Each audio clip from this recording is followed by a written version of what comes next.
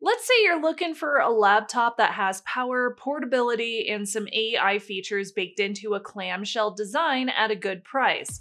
That is exactly what the Lenovo Yoga Slim 7i Aura Edition offers at a 15 inch size. So let's put it to the test, find out what this Aura slogan means, and what's up, s'mores? I'm Shannon Morse. Welcome to my YouTube channel. Welcome if you are new.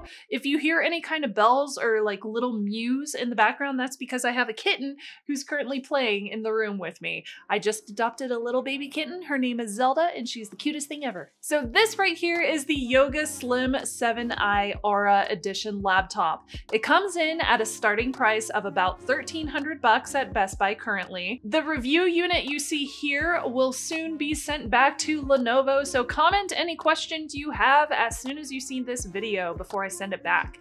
Now first up, we have got the design. This thing is very sleek, it's very lightweight, it's just 3.37 pounds and as thin as 0.55 inches. That's super, super thin. It is wrapped in this really luxe Luna gray aluminum chassis with a very small bump where the sensors and your webcam exist. Now you do have a pretty sturdy hinge on this thing and because it is a traditional clamshell device, it does not go full 360 and turn into like a tent or a tablet mode.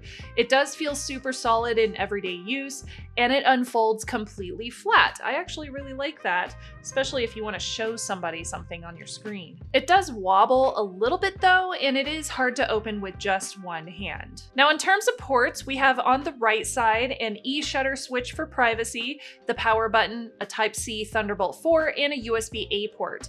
On the left side, we have HDMI 2.1, USB Type-C, Thunderbolt 4, and your audio jack. One nice perk is you can power this through the Thunderbolt port on either side, which is quite convenient. It also supports DisplayPort 2, and given that it has full HDMI and Thunderbolt, plus an audio jack, I would argue that this is a really good laptop for presentations or giving talks with slides. Now, if you are finding this video helpful, a subscribe would mean so much. Subscribing is completely free here on YouTube, and it helps more than you would know in terms of getting my videos to pop up in your YouTube feed. Unsponsored videos like this one are free to watch, and that's thanks to my Patreon supporters, my s'mores, and my YouTube channel members. So a huge Patreon shout out to my newest s'mores. Thank you so much. You can join them and support my channel by going to patreon.com slash Shannon Morse to get perks like early video access and my private Discord. And a huge thank you so much to my YouTube members and patrons for making this video possible again. Now the display on this thing is really pretty. It's a 15.3 inch PureSight Pro LCD display, which TLDR is Lenovo's design made to deliver exceptional color accuracy and clarity for creators and professionals. No, sadly, it is not a fancy OLED, but it still looks really great. It is a 2.8K resolution, 120 Hz refresh rate, 500 nits of brightness, so also not the brightest laptop I have reviewed. It also includes Dolby Vision. Now, again, it's not gonna get as bright as an OLED, and it isn't as rich in colors, but it's still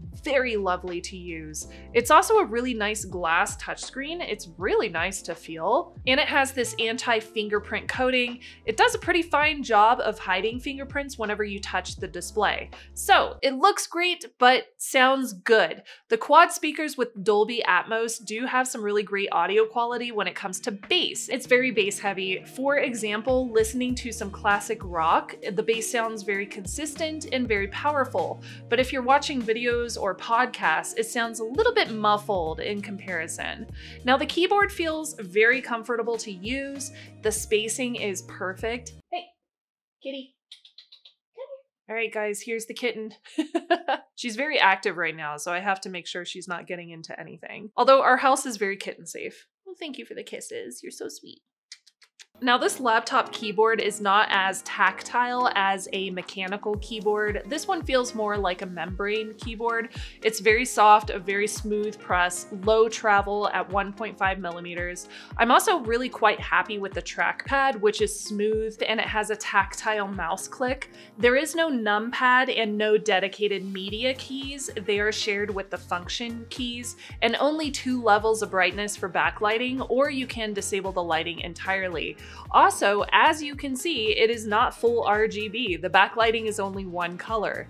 Now internally, the Intel Core Ultra 7 Series 2 CPU and the integrated Intel Arc 140V graphics are not going to be as hardcore as a gaming machine, but this will get most tasks done without issue. For example, some Adobe Premiere 4K video editing went very smoothly, and games do run pretty well. Like, I like using Horizon Zero Dawn as my test source for games, and it did not struggle on the graphics, though to my eye, I did notice some very minimal graphical tearing.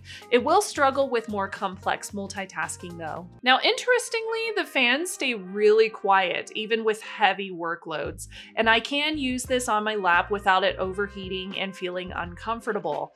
I do do appreciate that the one terabyte SSD is upgradable, but I'm always keeping an eye out for laptops that offer other upgradable components as well. For example, the RAM in this unit is soldered onto the motherboard. There's also an NPU, and when it comes to AI processing, you can do tasks locally, like using Co-Creator or Stable Diffusion or Studio Effects. There's also a Copilot key if you want to use Windows Integrated AI Assistant. I personally do not use a lot of AI desktop applications myself, but they are available to you if you do use those. Now the battery life is superb. The 70 watt hour cell gets me through a full workday doing lots of productivity workloads, even some gaming and editing. I did take it off the charger every morning around 9.30 or so, and it would die or get near 0% by 5 p.m., so just about 7.5 hours. I also appreciate the Rapid Charge Express, which will give you 3 hours of use with a 15 minute charge, so very useful whenever you're traveling. Wi-Fi 7 is fast. My speed tests on a local Wi-Fi 7 network were satisfactory. Now to note, the webcam does support facial login and Lenovo Zero Touch features, like if you walk away, your laptop will lock itself. I also love that e-shutter privacy switch on the side, and the quad mic array helps make you sound clear during calls.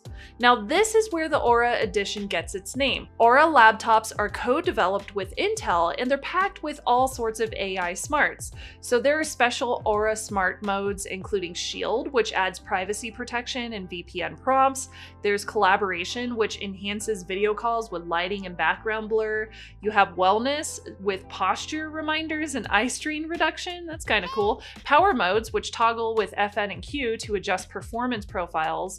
And then we have the Aura Smart Share. So Smart Share lets you tap your phone to the side and it will let you drag photos right onto your desktop. Where are you going? You can't climb on my shoulders every day. Also, Aura Smart Care can be used to live chat or call real humans from Lenovo support if things go somewhat chaotic.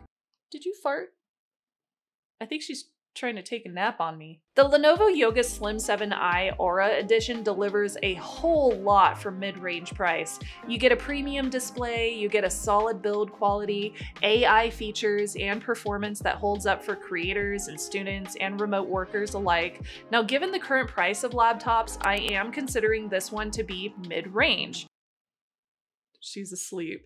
But if you need more power, if you need a dedicated GPU, or if you need something with longer battery life, you may need to look at some pricier models. Now comment below with your questions and I'll see you soon. Bye y'all. Mm-hmm. Sweet baby. She's totally trying to fall asleep on me.